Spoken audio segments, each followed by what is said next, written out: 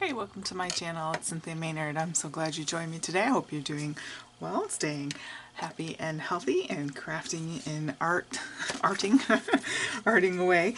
Today I am going to be doing this fun little journal corner and I had seen a uh, and video a video by Hanny Trump, I believe her name is, and she was doing some junk journal corners and they were so easy. It was one of those things I just trotted right down and did them. So I just wanted to share that with you. Um, you can also check out her channel, but uh, if you want to stick with me for just a little bit and then go on head over there, I'll show you how to quickly make one of these. Now this is out of my own digital paper in the shop, my Etsy shop, and um, I cut out this bird from a late, uh, the latest card making magic, and I put some fun fur behind that, or eyelash trim, whatever, whatever it is you call that.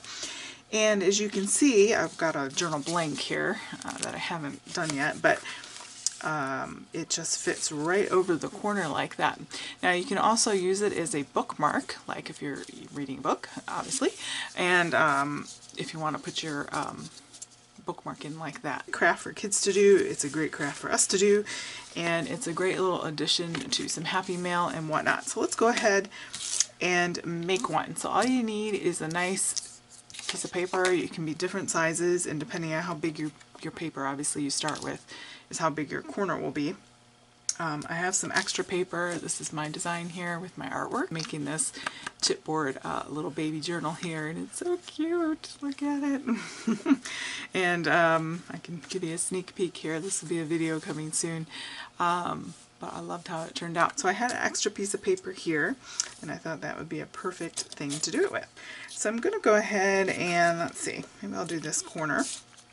You can usually get a couple out of uh, a piece this big, and this is, oh, four inches by eight and a half.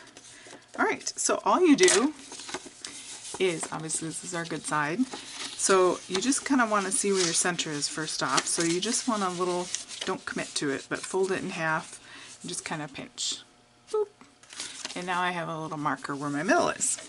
And then all you're going to do, let me zoom in here, all you're going to do is bring, I do it better upside down, I don't know why that is. Uh, I'm going to bring that together like this so it's nice and straight. And then just use your bone folder to go ahead and put that down. So that's step one or one, one and two. um, that's all we have so far.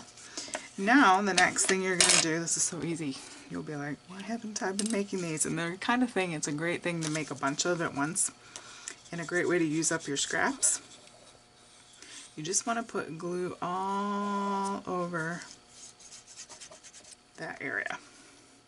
And then very carefully, we are going to take this and we are going to just, oh I got some fun fur in there for my journal, we're going to take that and go like that. And press that down so it's nice and glued really well there. Hope you're all safe and healthy there uh, this quarantine time. Pray for me. we still don't have our second car. And the stores have shortened their hours and the grocery delivery is pretty much null and void. So it's kind of difficult when my husband gets off work after working a 12-hour shift. He teaches uh, the nurses who are teaching, um, he's teaching the nurses how to take care of the COVID uh, patients. So he's, he's really uh, right in there. so, um, so by the time he gets home, it's 8 o'clock and the stores are closing at that time. So it's kind of been a little bit difficult to get fresh produce. um, so we need our car back. So from the shops. Pray, pray. Okay, all right, that's all there is to it. And then what you're going to do is cut along this line here.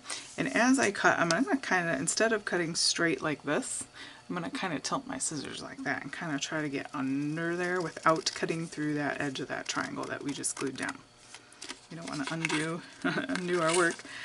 And then like that. So you see what I mean? I can get a whole nother one, whoa, whole nother one off of this. So that's nice. You can make several of these and they're very inexpensive. So you can pick which side you like, or it's the side, they're the same. but, um, sorry, I'm like a little too close now, I think. Woo! Um, if I had difference of sides, I would pick one. Uh, next up is to make our opening. So right now this is folded. So you're going to take the tiniest wee bit off. And that's going to be our little opening. way that fits better like that. Um, and then the fun part begins. You get to decorate this. So you can do any number of things. Look how easy that was. So it's just a matter of decorating. Now I had, this is what I used. Um, it's a card making magic set. I think I used one of these flying birds here. And it just fits perfectly on there. Got a scrap of paper that was lying beside my die cutting machine and just caught there. And we can go ahead and see which side I like better. I think that will be easier to see. Now because it's kind of pink on pink, I'm going to go ahead and ink the edges.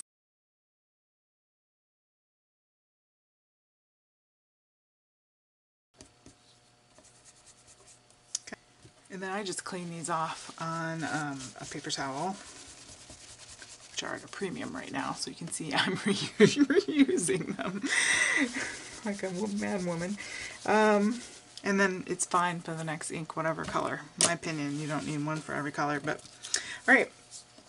So now you've got the side that you like there, and I'm going to put some eyelash trim behind there. I've got a big ball. You can get this at Joann. I think they're doing pickup on curbside pickup right now.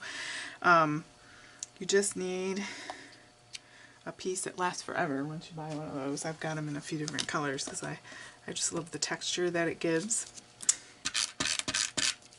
I want my tape runner there and I'm just going to coil this up just to kind of hold it in position fabric tack because whenever I use fabric or ribbon or some sort of textile, I like to um, adhere it with fabric tack because I feel like it's nice strong. Or you could use your glue gun. This is like the glue gun without being plugged in to me.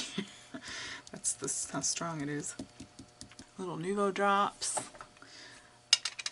I always do a squirt outside of the, uh, this is a glimmer drop, pink champagne.